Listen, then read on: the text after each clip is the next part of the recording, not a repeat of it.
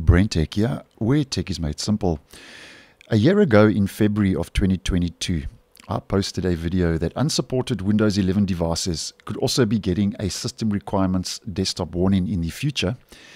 And um, those desktop warnings were spotted in the then latest dev channel build 22557, which, as we can see from the screenshot, were appearing system requirements not met in the bottom right hand corner um, of the desktop above the system tray. Now, um, it seems, according to recent reports, a year later, that uh, this is now becoming a reality when it comes to the stable version of Windows 11, version 22H2. And uh, this has moved now into the most recent build, 22621.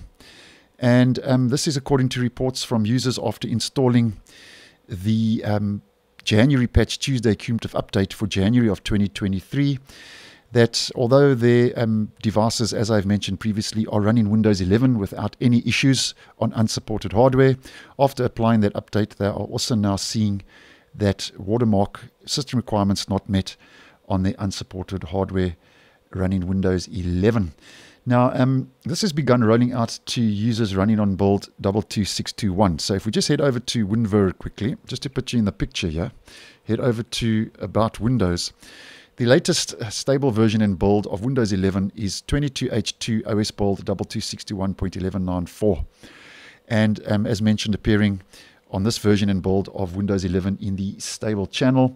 So this means a year later, um, as I did suggest a year ago in February of 2022, that Microsoft now has started issuing these warnings to users um, running the latest version and build of Windows 11, even though the unsupported hardware is running Windows 11 without any issues.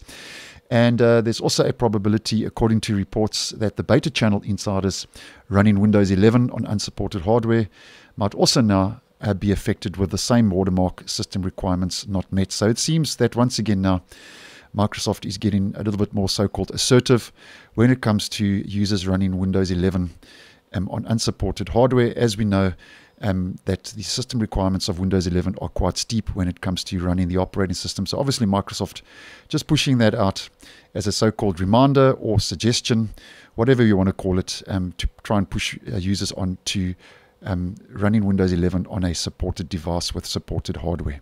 So thanks for watching and I will see you in the next one.